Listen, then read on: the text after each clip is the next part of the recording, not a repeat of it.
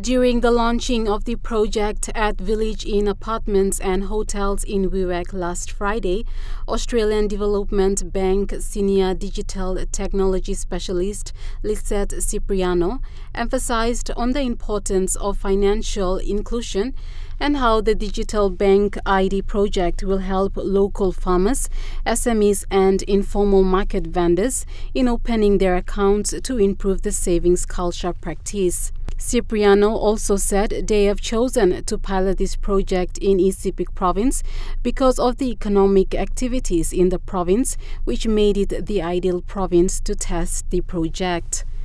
She further explained that the project is in association with DigiZen. DigiZen utilizes digital technology for an efficient identification system.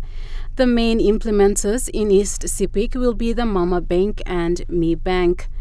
Wewak District Administrator Martin Maingu welcomes the testing project and said he is pleased with BPNG for partnering with the Women's Microbank in providing advanced digital banking services to locals in both Maprik and Wewak districts.